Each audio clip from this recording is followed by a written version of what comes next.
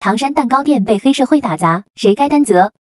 唐山烧烤店事件还没有结束，又有一起蛋糕店被黑社会打砸。找律师你随便找，找法院你随便找，幺零你随便报啊！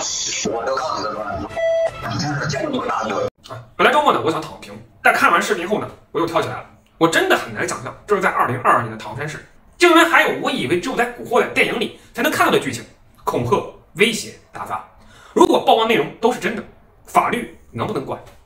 当然呢，除了可能涉嫌寻衅滋事外，还真可能是黑社会，也就是涉嫌构成组织领导参加黑社会性质组织罪啊。依据刑法二百九十四条及相关司法解释，黑社会需要具备四个特征啊。第一就是有组织，人数较多，有明确的职级划分，有龙头、话事人，还有小弟啊。据举报人说呢，他们是一伙由刑满释放人员组成的团体啊。第二就是具有一定的经济实力，有组织通过违法犯罪活动呢获取经济利益。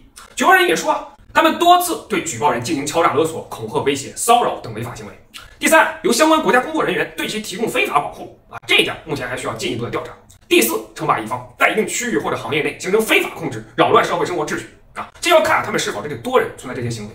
那这个该怎么处罚呢？啊，对于组织领导者，也就是龙头，可以判七年以上；对于积极参加者，也就是话事人，三到七年；其他参加者呢，三年以下。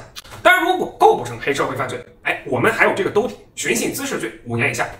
虽然这个罪名尽管被诟病啊，但是在某些情况下还是很有必要存在的。当然有人说啊，这举报人大哥肯定是被逼的没法子了，要不一般人谁敢呀？面对黑社会，万一再被打击报复了呢？确实，我也建议这位大哥赶紧报警，寻求警方保护，也避免对方强迫你私了。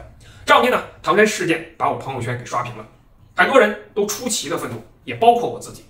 后来我仔细想了想，我们之所以愤怒，是因为我们骨子里以为的安全感受到了严重的挑战。而且这种不安全感是会发生在我们每个人身上的，我们感同身受。就像很多粉丝私信我，侯律师，我出门能不能带一个电棒？能不能带一个水果刀？能不能带一个防狼喷雾？我也不知道。而且我也不希望这些违法犯罪行为的追责只能靠媒体来推进。我说完了。